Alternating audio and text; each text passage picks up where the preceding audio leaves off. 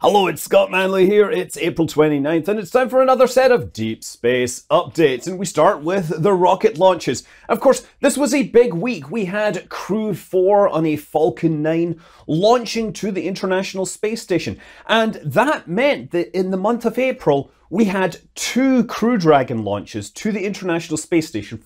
That's two rockets with crew on from the same launch pad. And like, that's not happened in a very long time. The last time we had two crew launching from the same launch pad within, like, the same month was Gemini 6 and 7, although 7 was launched first and then 6 launched to rendezvous with it. That was in December of 1965.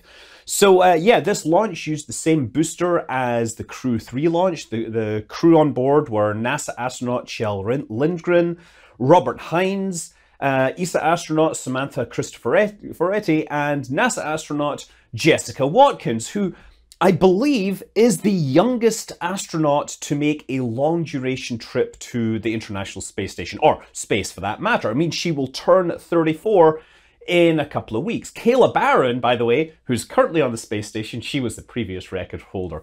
Uh, yeah, I mean, this is this is a cool looking launch. So yeah, they had to wait, of course, until Axiom came home. Uh, I'll talk about them in a bit because we have one other launch which has happened in the last week. That is a, a Long March 2 uh, 2C carrying a SuperView Neo optical imaging satellites, two of them from Jiuquan. This is for the Siwei. I think is that's that's a like a a basically a Chinese remote sensing corporation, which is a specialist group underneath China Aerospace Science and Technology Corporation, which is a still corporation. Anyway, that launched into sun synchronous orbit, and I'm not sure exactly what they do, but it sounds like a commercial uh, imaging satellite where they will be selling the imagery. Uh, so yes, um, the Axiom crew, they finally returned after being delayed uh, a few times. I think a total of five days worth of delays. So in all, they spent 17 days in space, 15 and a half of that docked to the International Space Station. So this makes it the longest private space flight and the longest uh, stay at the International Space Station by private astronauts. Although Charles Simonyi, uh, he spent 24 days in space, but he had to split it across two different Soyuz flights.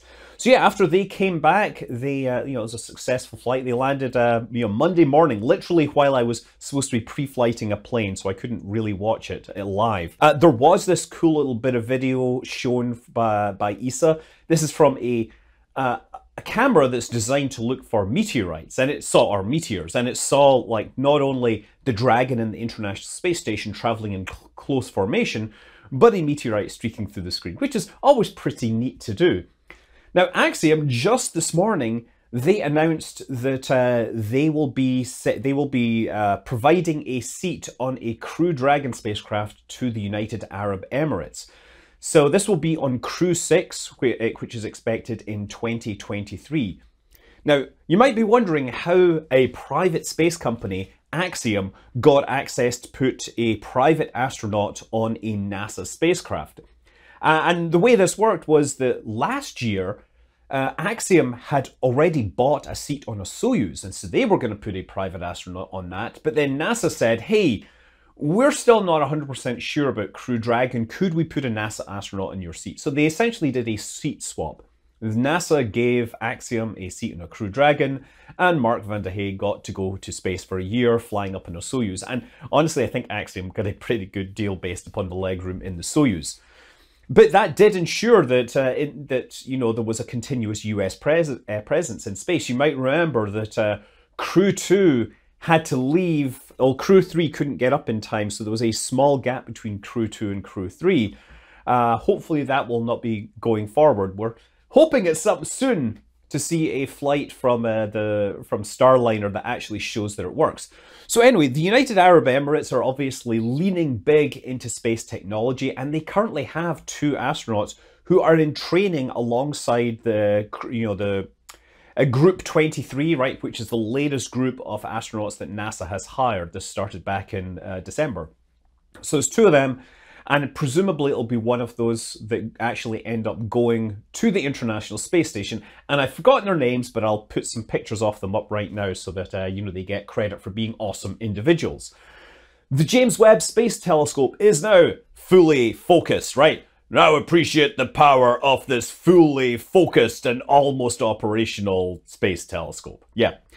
Uh, it's it's basically set up. That we've got this nice photo of everything. It's not totally reached operational conditions. So we've now seen that the temperature of the MIRI instrument, the very cold instrument, has reached down to like seven uh, seven Kelvin.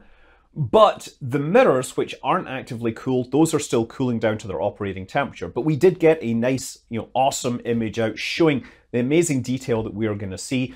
Can also see some other stuff in here, such as like some of the failed shutters, uh, they're failed closed or failed open.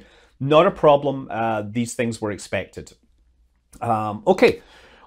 In space, well, uh, you know, Russian uh, you know, cooperation continues in space. Uh, there, we had uh, a, an EVA on the Russian segment to continue working on the European robotic arm. It is now moving free. It is a robotic arm that is designed to, to latch on on both ends. This is pretty common. The, the you know Canadarm does this as well. So it can latch on to one effector and move the other head around, latch onto the other one, and then detach. So this way it can walk around and get whatever part of the station is, is, needed. So that is now demonstrated to be working thanks to this EVA. It is moving free, yay. Uh, also, during that EVA, they discovered the problem with the previous MS-21 progress docking, where they had to take manual control at the last minute because it wasn't uh, lining up correctly. The Kurs antenna had not unlocked correctly. There was a cable that was holding it in place. So a fix was made and hopefully they won't have to manually fly in any more cargo ships for, from now on. And on the far less international, far more secret side of things, we know that Russia is planning to launch their Angara 1.2 rocket. This is the smaller version of the Angara 5. It doesn't have all those strap-on boosters. And it is a smaller second stage. Don't confuse it with the 1.2 PP, which used the fatter stage. Um, so this is going to be one of their smaller launch vehicles, able to put about three and a half tons into low Earth orbit. We know that they're going to be launching this because they have published uh, NOTAMs, right? Notice to Air missions that basically tell pilots, don't fly through here because you might have a rocket fall on you.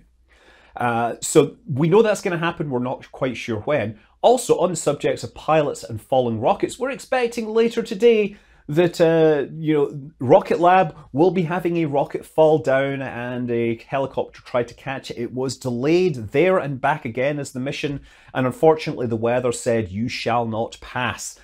Hopefully today things are better. Uh, and yeah, another aviation related story is that sadly, um, yeah, NASA has allocated no money for the SOFIA, the Stratospheric Observatory for Infrared uh, Astronomy. And the DLR is concurring, so they are winding down operations on this amazing airborne observatory, which uh, is uh, unfortunately it while it does some very unique things, it provides a unique platform for infrared astronomy. Um, it is just being considered to be too expensive. It, you know, yes, it does have some unique things. Like if you want to test a new instrument, you can swap it out. You can't do that with a space telescope and you can't get the infrared performance from the ground. So this has, you know, unique capabilities. But yeah, it's just uh, it's too expensive and it has not been funded. So yeah, probably it will be finished its uh, observing days by September 30th of this year. On the other end of things, NASA has announced some extensions to some missions that are already operational. Mars Insight is getting a mission extension, although at this point it appears the you know solar panels are going to be the restriction. It's looking like they're getting you know more and more dust covered, and there are attempts that they make by dropping dirt and stuff around the solar panels to try and not clean them off. But uh, that doesn't appear to be, you know, that appears to be just putting off the inevitable. Uh, on the other hand, NASA has decided that OSIRIS-REx, the spacecraft that took a sample from Bennu and is going to fly past the Earth in 2023 to return it, um, it they've decided that after that, it's going to go off on a new mission to fly past Apophis in 2029. It will now be known as OSIRIS Apex, that is Apophis Explorer. So that's great that it's had a mission extension. And on the asteroid front, by the way, China has suddenly been talking a lot about asteroid missions and asteroid deflections. And literally announced that they are planning to demonstrate an asteroid deflection mission in 2025. Of course, NASA right now has the DART mission in flight, expected to perform a diversion at uh, Didymos, or the D- Didymoon, or Dimorphos, depending who you talk to, uh, in uh, September of this year. Uh, Starlink has finally landed a big aviation deal, which is kind of cool. They're going to be offering in flight internet service on Hawaiian Airlines. Now, it sounds like this is going to be the big you know, trans Pacific flights that they run rather than the small inter island hops. So I presume that is going to need the laser interconnects between the various uh, satellites because there will be no ground stations available. Finally, uh, yes, it is the end of April, and as everyone expected, the FAA has once again punted its uh, environmental report for Boca Chica. So, yes, we're going to have to wait a little longer. But you know, we already knew that we were going to wait a little longer for a Starship launch because there was imagery leaked from the interior of Booster uh, Booster Seven. Yes, Booster 7's tank, and showing the fuel downcomer which has been um, collapsed into an unfortunate triangular cross section. I, am guessing what probably happened here was that some sort of uh, the exterior pressure got higher than the pressure inside that downcomer. Either there was you know fuel being drained out, leaving a temporary vacuum, or they pressurized the, the oxygen tank and didn't pressurize the fuel tank. Whatever happened, that collapsed and that is some serious damage, and I think they're already moving on to Booster 8. So yes, everyone's hopes of a Starship Super Heavy launch happening soon have literally been crushed. I'll be back next week with some more deep space updates. I'm Scott Manley. Fly safe.